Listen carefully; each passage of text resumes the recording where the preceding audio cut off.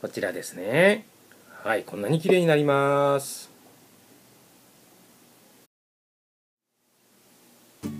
はいこんにちは。今日もグローブですね。で見ていきたいと思いますがこれはちょっとこれ色落ちハゲハゲですね。見えますか、うん、このハゲた色をですね、えー、カラーオイル使わずに、まあ、ローションでどれほど回復できるのかというところを今日はお見せしたいと思います。はい。この辺ですね特にね。分かりますか？はい。この状態を覚えておいてください。はい。それでは作業に入っていきますね。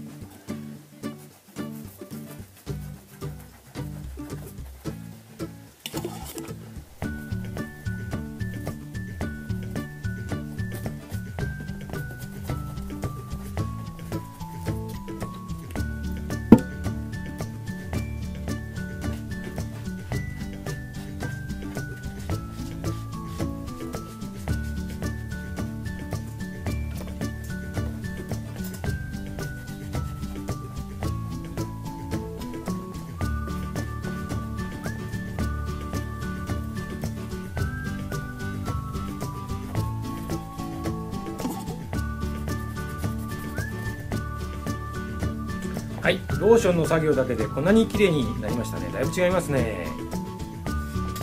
はい。じゃあさらに豚毛ブラシで磨き上げしていきますね。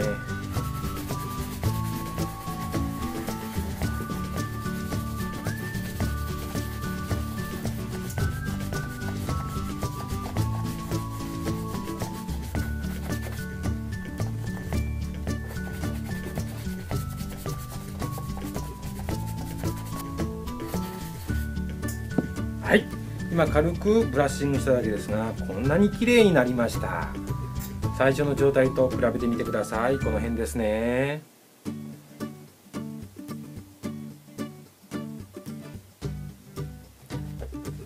はい。今回はハゲたグローブをローションで復活させるという動画でした。こちらですね。はい。こんなに綺麗になります。では、さよなら。